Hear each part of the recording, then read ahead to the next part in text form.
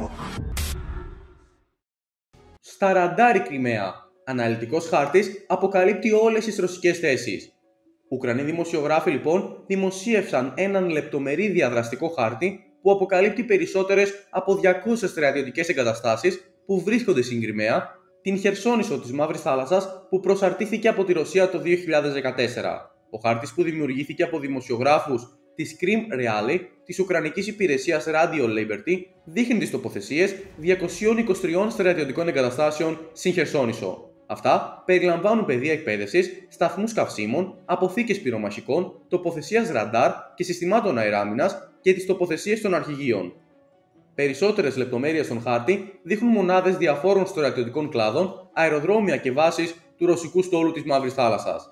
Η δημοσίευση έρχεται μέρες αφότου ο Αντρί Γιούσοφ, εκπρόσωπος της Διεύθυνσης Στρατιωτικών Πληροφοριών της Ουκρανίας, προέτρεψε τους κατοίκους της Κρυμαίας να μείνουν μακριά από στρατιωτικές εγκαταστάσεις στη Χερσόνησο εν ώψη μιας επικείμενης αντιπίθεσης του Κιέβου για την ανακατάληψη των κατεχόμενων εδαφών του.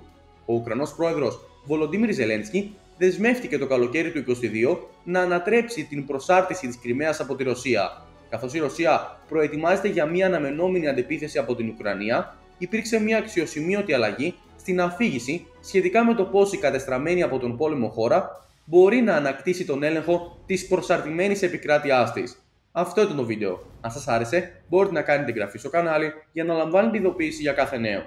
Μην ξεχνάτε να μας κάνετε σχόλια με την άποψή σας.